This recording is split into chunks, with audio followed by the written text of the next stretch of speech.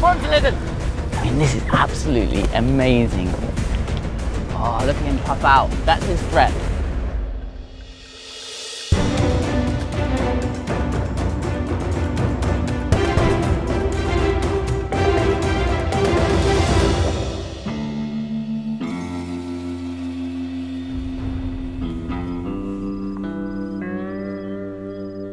Oh man, look at that. There's Uluru right there in the distance. What an amazing setting this is. Perfect.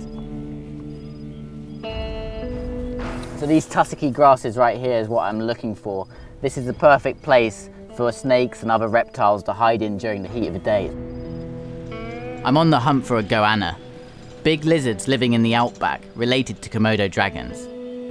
I've heard that they are venomous, which has recently been scientifically proven. But first, something quite a bit smaller has caught my eye. Oh, wow. What?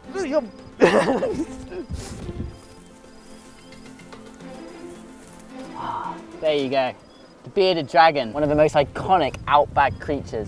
And people have these as pets. Look at that, he's got his mouth open. That's him saying, I, I want to bite you. He really would put, uh, bite me if I put my finger there. You see that beard there? That, that, trying to bite me. he really wants to have a go at me. They're really, really spiky as well. That's kind of almost a way to defend himself against any potential predators. The way they flatten out as well, they use that to make themselves as low as possible, but also to get as much heat during the middle of the day. Right now, he's probably out looking for some little ants to feed on or little bugs. It's amazing just seeing a creature like this really up close. You really get to see how they're perfectly adapted to the outback. Yeah. Let him go. Off you go. Come on. Off you go. Off you go. Off you go. Off you go. That way. Oh. Just like this bearded dragon getting active in the hot sun, the big monitor lizards are doing exactly the same.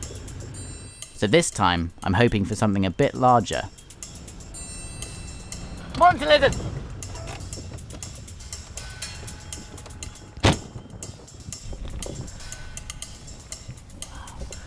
I mean, this is absolutely amazing.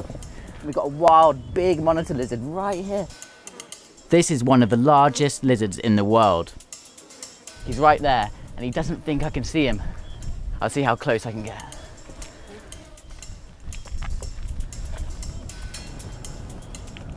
Oh, look at him puff out. That's exactly, that's his threat. He now knows that I can see him. And he's using that tongue to sense if I'm a threat. Oh man, look at that. This guy just knows that he can't run away. That's not his, his tactic. His tactic is just to be there as camouflage as possible. Let's see how close I can get. Oh, wow. This guy is just completely unfazed by me. He thinks he's really big. You can see the way that, that tail is curved around. If I get a little bit closer, he might use that and whip me and say, get away, get away.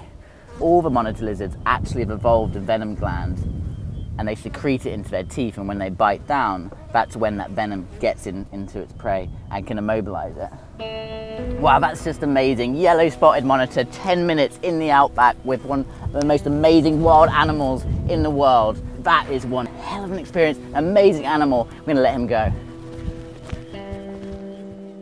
These lizards are venomous, but it's only a recent discovery, and not something I know much about. I wanted to find out more. Hey James. Jack. We've come back from our outback trip looking for the venomous creatures. We found a lot of monitor lizards and I've heard that they're actually venomous. So is, that, is it true or not? Yep, it's absolutely true. The saliva actually is venom. Wow. We'll actually be milking some today. I've never seen a, a monitor lizard being yep. milked, so this must be, you know, the only people in the world that do this. Yep. So having them bite down on something actually stimulates stimulates them to salivate. Hmm. There's a bit of dinner in the bottom of the mouth, I see. I get some bits of cricket.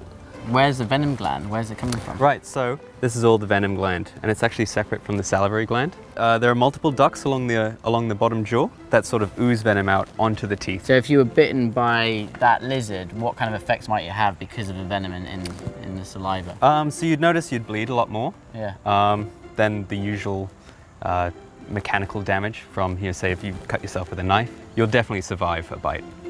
Well, there you are. We've, we've learned that these lizards really are venomous.